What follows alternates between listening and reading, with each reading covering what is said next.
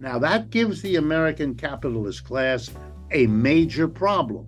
How are you going to handle the decline? It is the disintegration of capitalism that is creating the fertile ground for socialism. And the other thing you might find interesting is that when you ask people in detail why they don't like socialism, they don't have much of a of an argument.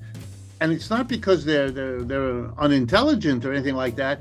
No one has ever taught them what is socialism. I was born in the Soviet Union but have lived in the United States for almost two decades. As such, I've witnessed fierce debates about socialism versus capitalism on both sides of the ocean. One thing that has bothered me tremendously was that neither side could clearly articulate what those terms really mean. That is why for this episode I interviewed Dr. Richard Wolff, the most famous economist specializing in socialism and Marxism. I wanted him to educate me on what socialism is and what it isn't.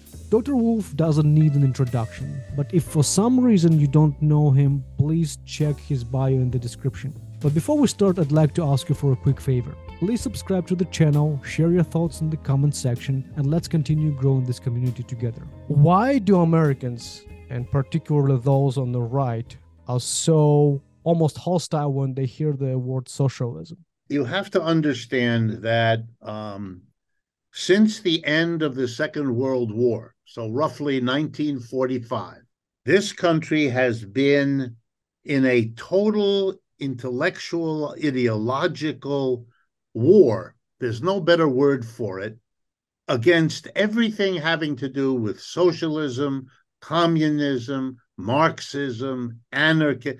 These were defined in our culture as evil, threatening, dangerous in every way. I was born in the United States. I've lived here all my life. In my elementary school, in my high school, in my college, an endless indoctrination that the United States was the place of democracy and freedom and all of that. And the Soviet Union, for a while, was altogether evil, but not just the Soviet Union. It didn't matter whether it was Lenin or Stalin or Khrushchev or Yeltsin. It didn't make any difference. There was all awful. And Cuba was awful, and North Korea was awful, and China was awful. It was just awful, awful, awful. And you know, if you grow up in a society that tells you that over and over again, it's not at all surprising that people, even people who don't pay much attention, people who don't care that much, that's all they ever hear. Uh, then they're going to have a feeling that this is a very negative sort of thing. And that's what we've had for all this time. I think 99% of the hostility to socialism comes from this endless ideological battle, you know, in which the other side never had a chance. There, no one, in my experience, no one ever in any classroom I ever attended got up and said to the class, I like socialism. Here's why I like it, so that we could even hear it. We never got it. The fear in this country, the fear, because that's what it really is, the fear about socialism dictated a kind of keep it away, uh, you know, uh, covering your eyes, covering your ears because of the anxiety uh, that was uh, affected. And this has had two interesting results. Number one, it didn't work. In other words, millions of Americans remained quietly, privately, quite interested in socialism, which you can see because Bernie Sanders got a lot of votes, because AOC, if you follow American politics, socialism has come back remarkably. So it didn't go very deep, this anti socialism. Uh, it's pretty much at the surface. And the other thing you might find interesting is that when you ask people in detail why they don't like socialism, they don't have much of a of an argument and it's not because they're they're they're unintelligent or anything like that no one has ever taught them what is socialism what is the difference between socialism as it's practiced in germany or sweden compared to the USSR, compared to Cuba or China. And so the varieties of socialism, they know nothing about it. Most Americans, if they talk about socialism, talk about it as if it were one thing, as if it weren't different. It would be if you asked me, uh, what's the Christian religion? And I said to you something which was, let's say, Roman Catholic after a while, you would explain to me, uh, stop, uh, Roman Catholic is one kind of Christian, but it's not the whole thing. There are Protestants and Russian Orthodox and Greek or, and all of that. I have to always explain to people there is no one socialism. There are quite different socialisms. And if you want to talk about them, I'm happy to do so. But you have to stop living in the propaganda universe and begin to talk in a balanced way. Socialism has strengths and weaknesses.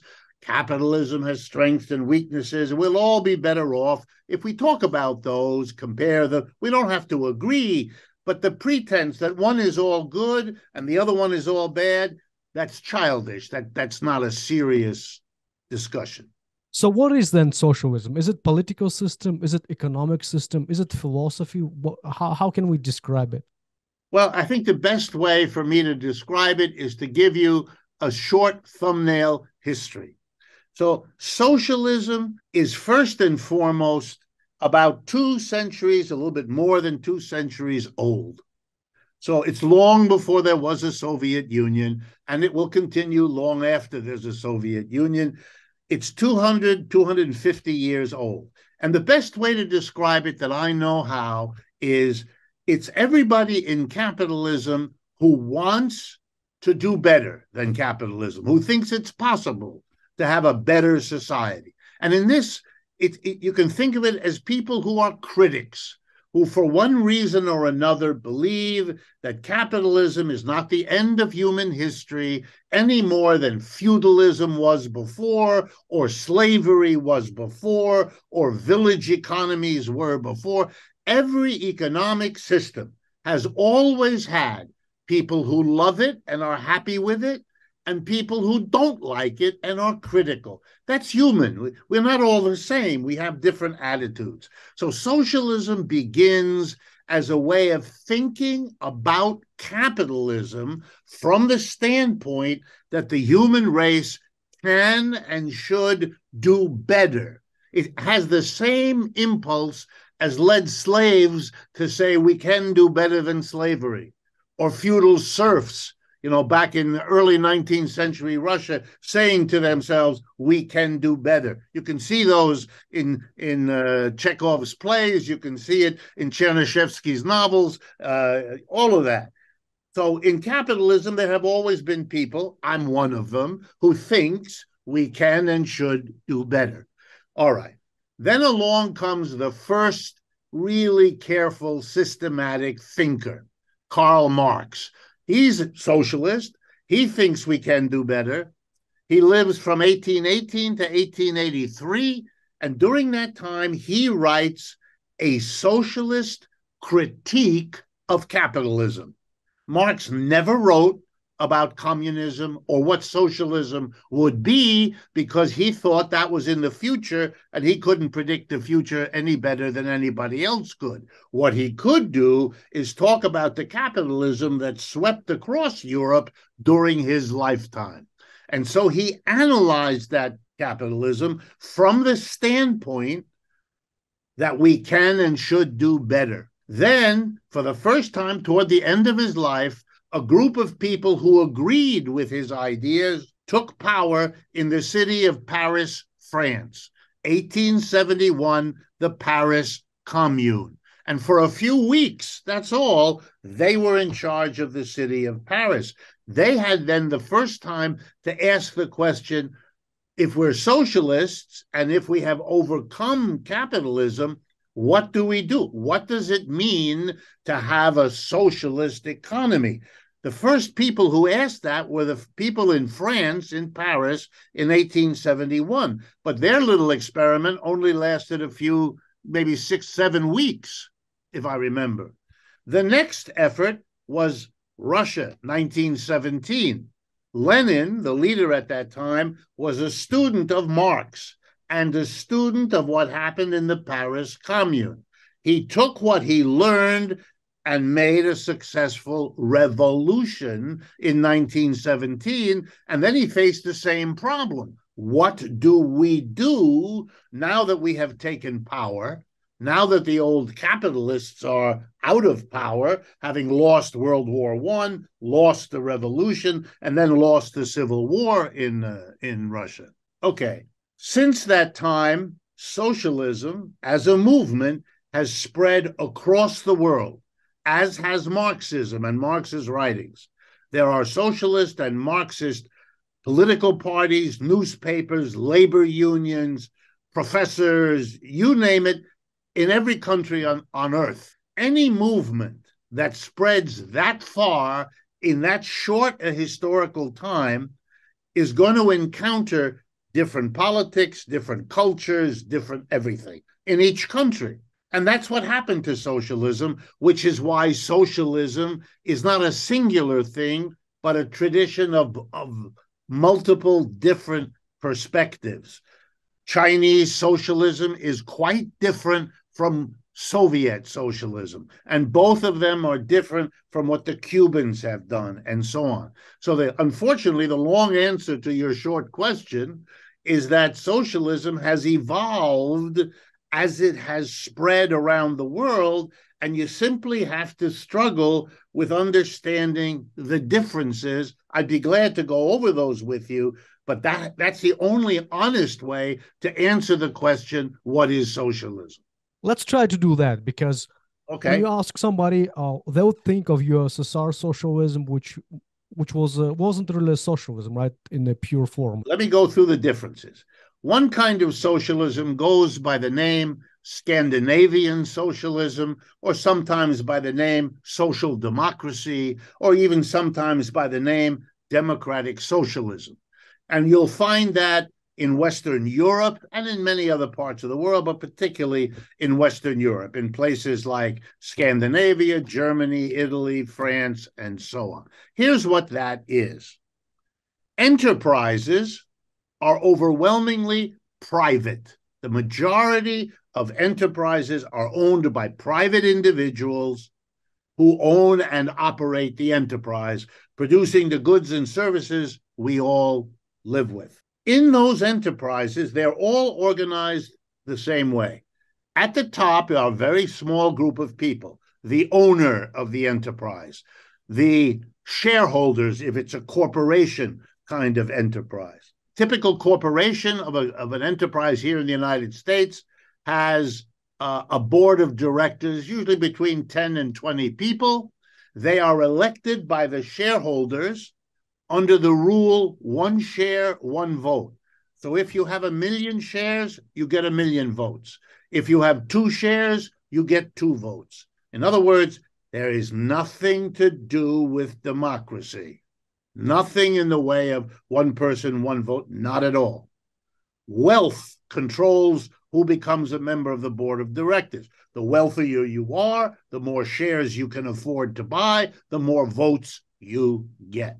So this is this board of directors, 10 or 20 people, or an individual family or an individual person, they have all the power in an enterprise. They decide what it will produce, how it will produce, where it will produce, and what is done with the profits that everybody together makes.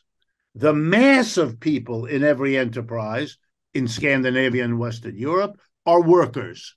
They do not make these decisions. They are excluded from the decision what, how, where to produce and what to do with the profits. Their labor helps to produce the profits, but only the people at the top have the power to decide what to do with the output. Marx criticized that as the core of capitalism. Capitalism is a system with a few people at the top and a mass of people who are told what to do. And in that way, Marx was a critic because he said this is quite similar to feudalism when the people at the top were lords and the mass of people were serfs. It's quite similar to slavery when a small group of people at the top were masters and the mass of working people were slaves. We're not in slavery anymore. We're not in feudalism. We're in capitalism now, but capitalism shares with feudalism and slavery this particular way of organizing the workplace. Okay, now let's take a, a, a leap to Soviet Union. In the Soviet Union, the vast majority of enterprises, certainly in industry and across Soviet history, more and more in agriculture, were owned and operated by the government, not by private enterprises. Okay? And for many people, that's socialism. They don't like to use the word socialism for Scandinavia, France, Germany, and nah, nah, nah. But the Europeans do that. They call those societies socialist. Why? Because the government exercises enormous regulation and control. It's still a private enterprise, but the government has a lot of power over the private enterprises. Russia, Soviet Russia, is different because there, especially since Stalin, they defined their system as socialism, Soviet socialism, where the government owns and operates most of the enterprises, and certainly the major ones. But from a Marxist perspective, what's most interesting about the Soviet Union is that their enterprises, owned and operated by the government, use the same internal organization. A small group of people at the top, state officials, right? Council of ministers, whatever you want to call it, and then a mass of people who were excluded from the decisions made. By, so, in Marx's language, this would be state capitalism. Why? Because they haven't changed the internal organization of the workplace. What would an alternative organization be? Just so you have it clear, it would be if you bring democracy inside the enterprise. One person, one vote, everybody. So it has to be a democratic decision what is to be produced, what technology is to be used, where the production is to happen, and what is to be done with the revenue or the output that everybody. That would be a radically Marxist socialist. Tra- that did not happen in the Soviet Union. And now we come to China, because China is a uniquely interesting hybrid, a combination. Roughly half of China is private enterprises, Chinese and foreign including America. They run there, they have private enterprises, just like in the United States or Western Europe. The other half of Chinese enterprises are like Soviet Russia. They're owned and operated by the state. In other words, it's a hybrid, it's a mixture. And the Chinese, by the way, call it socialism with Chinese characteristics. Well, the key characteristic making it China is this neither the Scandinavian, with all industry is private, nor the Soviet, all industry is state. It is a hybrid regulated by a powerful communist party. Right? So there are other kinds of socialism, but those are the three different ways of doing it. All of them would be called, using the Marxist theory as I understand it, and I've been a teacher teaching it for, for 50 years, by the way, teaching it here in the United States for 50 years, and I've had no problem doing that. I've never been arrested or impeded with in any way. These would be called, from Marxist theory, different kinds of capitalism because they have not reorganized the workplace, which means they haven't reorganized the work experience for the vast majority of people. They go to work in an enterprise, somebody else runs, controls, and directs. Whether it's a state official or a private person, that's the difference. But for most people on their daily life, that doesn't make much of a difference because they, you know, they're excluded from the power. So in that way, socialism remains on the agenda of the world in every country because it represents the the desire, the feeling, of the mass of people that you could do better than the non democratic organization of the workplace, whether that be in the United States or in Sweden or in Russia or in China, because that's still the issue. And that issue has not yet been addressed in the world. You know, it's a little bit like noticing, if you do some history, that the different kinds of slavery in the world were really quite different. What they all had in common was masters, a few, slaves, the many, and the desire of the slave to break that system, which they eventually did. Ditto the serfs in feudalism, and from the Marxian perspective, ditto the workers in capitalism.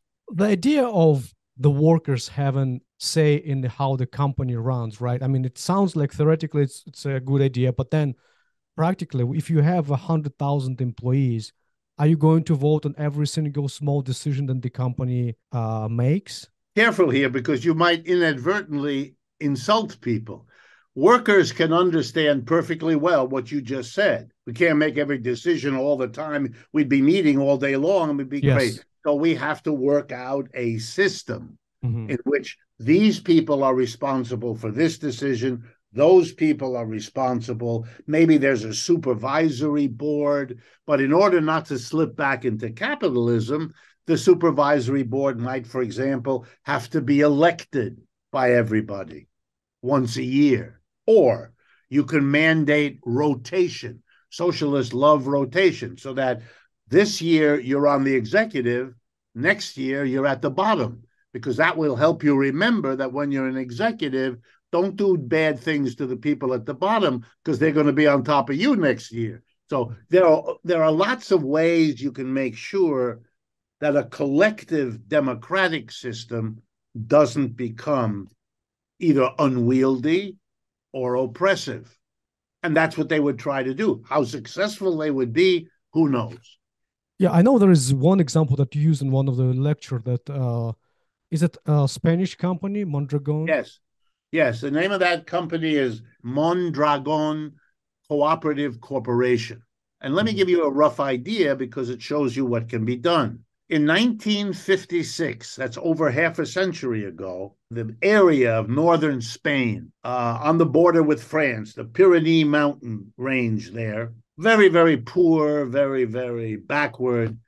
So there's a little Catholic priest in a medium sized city called Mondragon who has a meeting with his Catholic parish, and he says, We're all suffering from unemployment.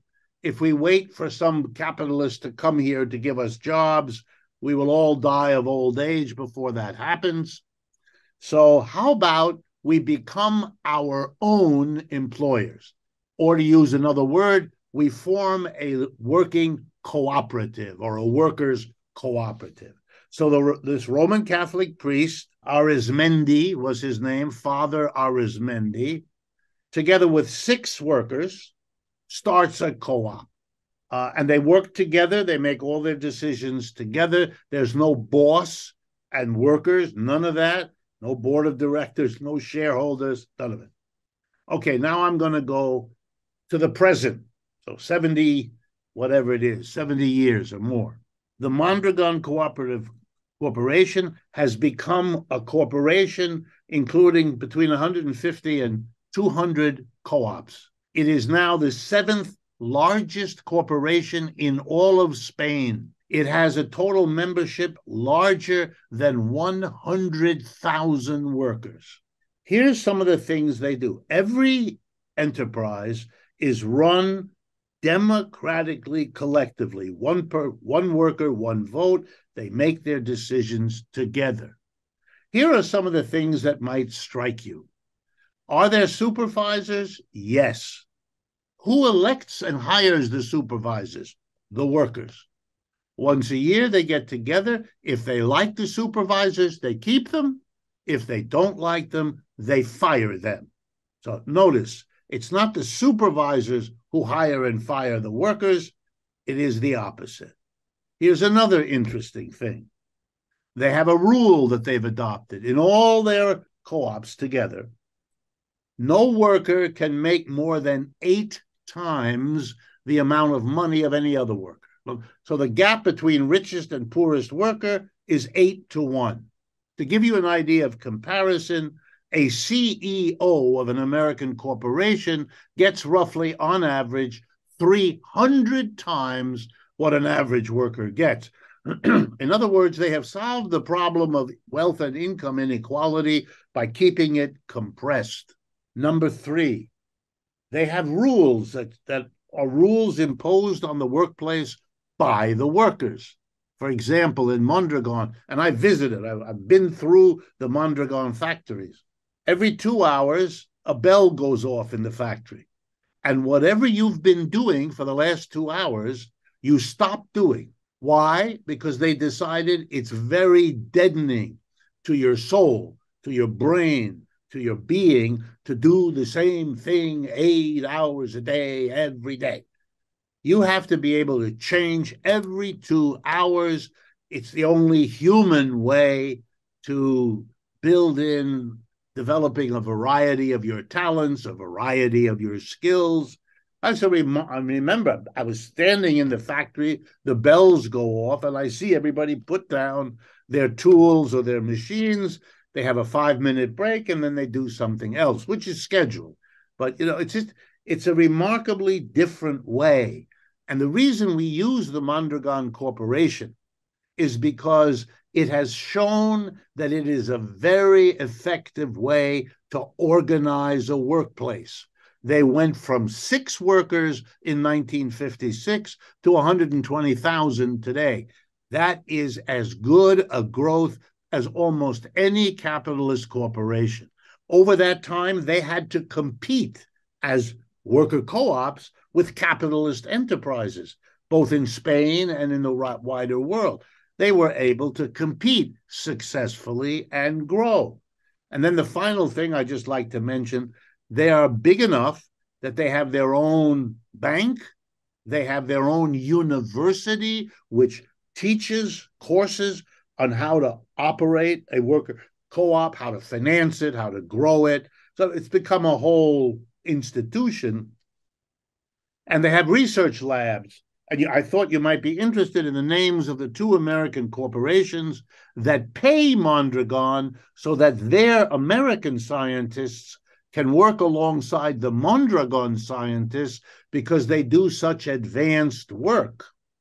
They are the General Motors Corporation and the Microsoft hmm. Corporation. So you can see uh, the American working class knows almost nothing about this, but the bourgeois capitalists, they know all about it.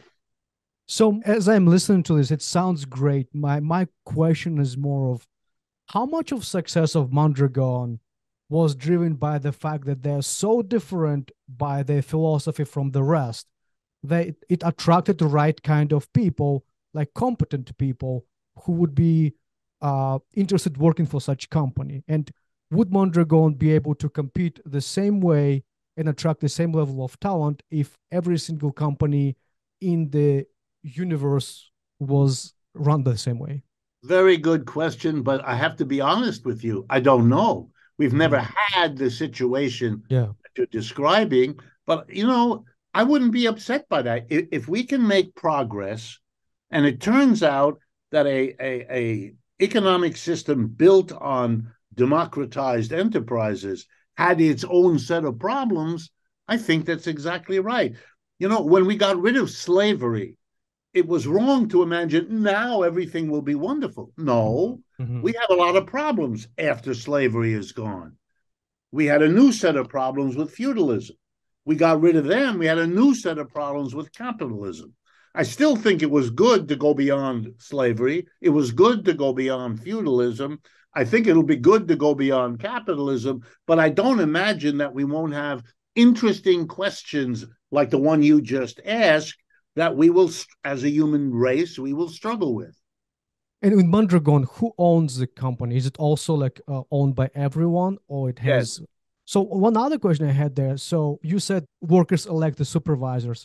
Right. Do you think it also there is like negativity to that that they select the most popular person or the nicest person versus the most effective person or my guess is that that you're quite right that these elections will be governed by the Mhm. same mixed feelings, the same mixed motives that govern all elections. I mean, I can assure you, having worked with many American corporations, Mhm. who gets elected to the board of directors not only depends on whatever competence you have, but it depends on what school you went to, what family you're a part of. All of that plays it. And I don't expect that to disappear. I think it will be possible that workers will elect people that are not the best ones for the job because of popularity and all of those.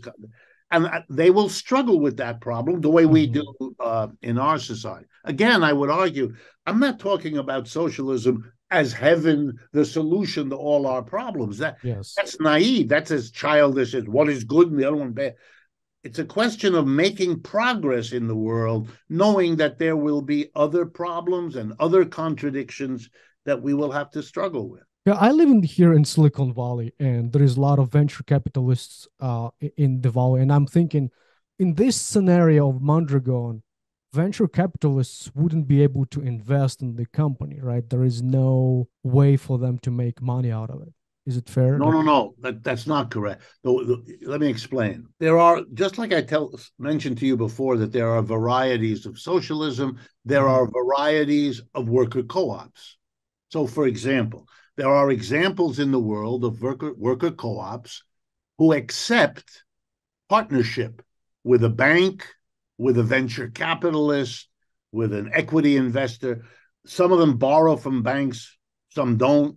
Some allow investment, some don't. Uh, some make a requirement that you're an investor. Well, you get non voting shares in the company. You know, there's all kinds of arrangements that have been explored. It's a little bit like capitalism in that way Yeah. capitalism over its development the last three centuries four centuries has had to solve practical problems how do you go from being small to big well along the way you you allow others to invest. Early capitalists were people who started a business owned it themselves usually worked in it themselves. Then over time as the businesses grew that stopped and the ownership was dispersed to shareholders and all the rest of it. These are adjustments within the system to cope with its problems. A worker co op based socialism will have to do the same thing. It'll have to figure out how do we handle it. The reason Mondragon is interesting is because people used to say, okay, a worker co op could work in a small business, you know, Mhm, 10 yeah. people or 20 people or 50 people, but it can never be a big, well, Mondragon shows you even when you're the only one quite like it, they were able to, they had their problems, but they were able to solve going from small to big. When we think of this type of socialism, right, in the United States, if, is it even possible? Do you think, given the this individualistic culture of the United States, historical dislike of socialism, can the country get there? And what would be the step? Would it go top down from the politicians down or from bottom up from the people who start this type of co-ops? Let me answer your question first in a simple way, and then I'll explain. I have no doubt that socialism not only can come to the United States, but probably will. Mhm. I don't know when, I don't know exactly how. Nobody, I mean, I can't predict the future any better than anybody else can.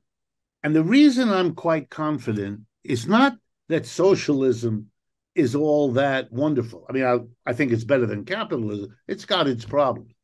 But the reason the transition will come is because of the internal difficulties of capitalism, and particularly capitalism here in the United States. So, in an ironic twist, the best organizer for socialism is capitalism. It is the disintegration of capitalism that is creating the fertile ground for socialism. And let me explain to you what I mean. Much of the world has been governed over that over our long history of the human race by dominant powers and they usually call their area that they dominate their empire So you have the Greek Empire, the Roman Empire, the Persian Empire, the you know, fill in the blank. For much of the 18th and 19th century, it was the British Empire, India Africa, all over the British. The British Empire finally collapsed in World War One, and it was replaced basically by the American Empire because World War One destroyed the only other possible, which was Germany. So Germany was destroyed. Britain was exhausted and the United States arose. And for the last century, roughly, we've had the American empire, the dominance of American military, economic. Everybody uses the US dollar around the world. It's, it's all the signs of an empire. That empire is now over. Like every other empire, it rose, it flourished for a while, and then it declined. Britain is now a small, wet island off the coast of Europe. It's got no empire at all. And very hard for the British to deal with this. It is very hard for the Americans now to deal with it. The last four wars Vietnam, Afghanistan, Iraq, and Syria were all lost by the United States. Every one of them, the United States entered, tried, and was defeated. 20 years ago, the US dollar was 70% of the reserves held in every other central bank to back that country's currency. Today, it's about 45%. The dollar is not playing the world. As you probably know, Saudi Arabia is now selling oil not for dollars, which they've been doing for decades, but for Chinese yuan, for Russian rubles, for a variety of other. The role of the dollar the power of the United States militarily, the power of the American economy. They have to throw trade war against China, tariff war against China, sanctions against. None of them work. You know, in the last quarter, which is the first quarter of 2023, the numbers released last week, the United States economy grew by 1% on an annual basis the first three months of this year. The Chinese economy grew 4.5%. That difference is the same year in and year out for 30 years. That's why China has become the economic powerhouse that it is today. The relative position of the United States tells us that the American empire is over. Now, that gives the American capitalist class a major problem. How are you going to handle the decline? It's a much easier problem when you're rising, as they did in the 20th century. Then you're getting bigger and richer and stronger. You solve your problem. Much more difficult when things are going down. How do you manage? And at this point, I have to tell you that my colleagues in the economics profession are spending most of their time denying what I just told you because it's so frightening, which mm-hmm. I understand. Who wants to face the decline of your system? People have the capacity to not see what they don't want to see. But they'll have to outgrow that because they're going to have to make more and more difficult decisions. Now, let me conclude this way. When the United States revolted against the British Empire in 1776, we had a violent American revolution. And the British came and put it down. They failed. The United States became independent because it defeated the British in the Independence War. A few years later, in 1812, the British tried again and were defeated again. After that, the British and the Americans made a deal. If you let us do this, said the British, we'll let you do that. And it was a live and let live arrangement and over the next century, the United States became dominant and the British, but they didn't fight, they didn't kill each other. They, the United States is going to have to do that with the next one. Either that's China or a collection of countries like China, India, Brazil, the BRICS, if you know what that stands for. Yeah. They're going to have to do that. They're going to have to face it. You're going to have politicians that have to get up and explain this to the American people who don't want to hear it, don't want to see it. But those are the realities. And the future of socialism emerges here. Why?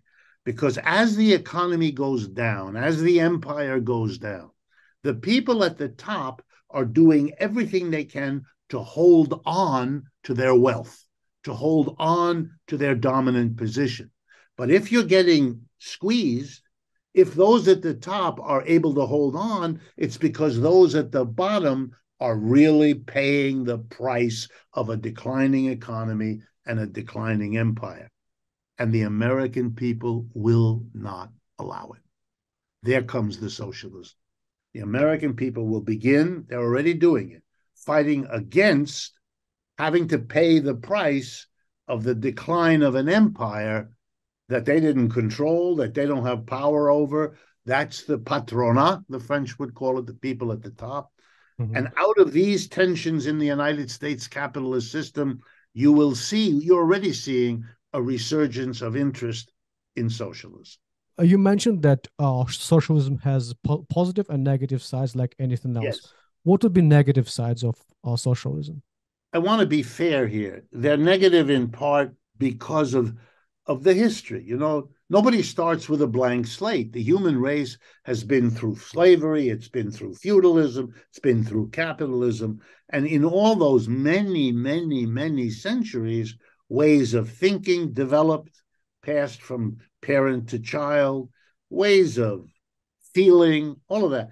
And that's not going to go away overnight. Socialism inherits all of that, just like capitalism inherited what mm-hmm. went before.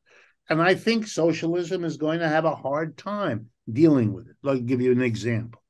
If everybody's equal in a factory or an office or a store, everybody is equal, have one person, one vote, it implies that for this to be stable, everybody has to put in, let's call it a roughly equal effort, work effort.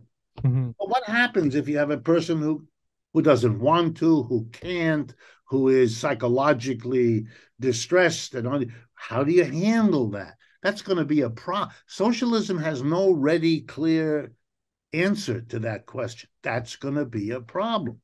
What about people whose major motivation is to make money? Likely, most socialist systems are, are not going to allow enormous wealth. Nobody can become Elon Musk or Jeffrey Bezos or anything like that's not available. Well, will socialism have a problem finding substitute motivations for people? If you don't give people the financial motivation, well, there are other ones. Will socialism be able to find mechanisms of motivation that generate, let's call it for lack of a better word, entrepreneurship, or technical progress or, or, i think those are things where the socialism partly because remember as i gave you the history socialists are just at the beginning of trying to figure out how to run a society. Russia did it for a while but soviet russia collapsed. So clearly there are lessons there what not to do. Yeah. We don't make those mistakes again and you know china's a little bit different they, we'll see if they last we'll see what lessons but capitalism, you know, didn't come out of feudalism all finished, ready to go. There were many, many experiments in many different parts of the world. Many of them disappeared after a few weeks or a few months or a few years. The Paris Commune lasted seven weeks. The Soviet Union, seven decades. China now, even longer. Okay, they, I think they're learning. But, you know, you have to be open to learn what to do and what not to do. You have to face the failures and mistakes of the Soviet Union, and there were plenty of them, as there are of China, Cuba, all of them. They make some important mistakes. You have to learn from them, just like the early capitalists learned from their mistakes to eventually become the dominant system in the world. I think the socialist countries are doing that. Therefore, I'm, you know, I'm not distressed that the Soviet Union is gone. That was an experiment, one of the first. And I'm not surprised that an early experiment made a lot of terrible mistakes. I just want us to be honest, face them, think about them, and make sure that the next efforts to build socialism do not repeat those mistakes.